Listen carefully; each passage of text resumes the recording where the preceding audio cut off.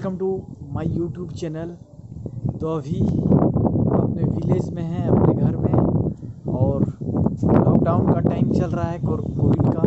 तो आपको व्लॉग दिखाने वाले हैं सीन्स दिखाने वाले हैं अपने घर के और अपने गाँव के और एक्सप्लोर करेंगे।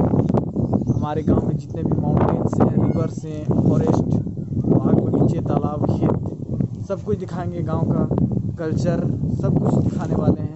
कैसे रहते हैं, कैसे घर है और क्या कल्चर है, सब कुछ दिखाने वाले हैं। इससे पहले हमारे चैनल पर जो भी वीडियोज़ थी नॉलेज और इन्फॉर्मेशन से रिलेटेड थी, और S S C railway banking G S S C J P S C से थी, लेकिन अभी थोड़ा उनको स्टॉप करने वाले हैं, क्योंकि अभी पढ़ाई लिखाई का काम थोड़ा रुका हुआ है एग्ज़ाम्स भी अभी नहीं है, और अभी थोड़ा एक्सप्लोर कर रहे हैं अपने विलेज को, अपने गाँव को दिखाने वाले हैं। मज़ा आएगा आप सभी को तो वीडियो को लाइक करिएगा शेयर करिएगा।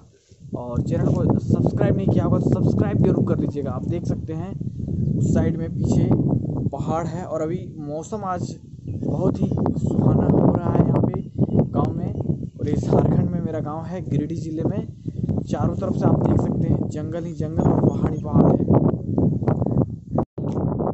आप देख सकते हैं उधर पहाड़, इस साइड में पहाड़ है, जंगल है, पहाड़ है, गाँव भी है। इस साइड भी काफ़ी घना जंगल है, उधर भी जाएँगे, उधर का भी सीन आप लोग को दिखाएँगे।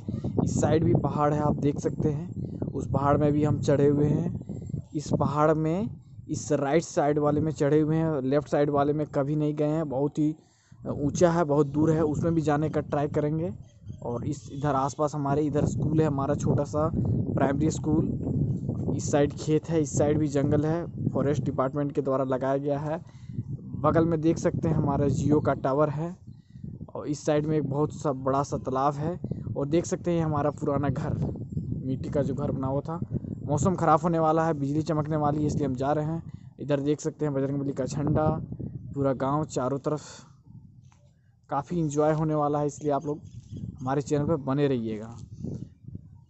मौसम काफ़ी सुहाना होने, हो गया है और अब बारिश आने वाली है गाँव में। इधर हमारे पेड़ पौधे बाग बगीचे हैं, उधर भी बगीचे हैं और इधर भी बगीचे हैं, सब कुछ दिखाएँगे आपको। बस आप चैनल पे बने रहिएगा, क्योंकि अभी लॉकडाउन में घर पे हैं, काफ़ी इंटरेस्टिंग चीज़ फैक्ट्स दिखाने वाले हैं और बहुत, काफ़ी अच्छे अच्छे चीज़ आपको दिखाने वाले हैं।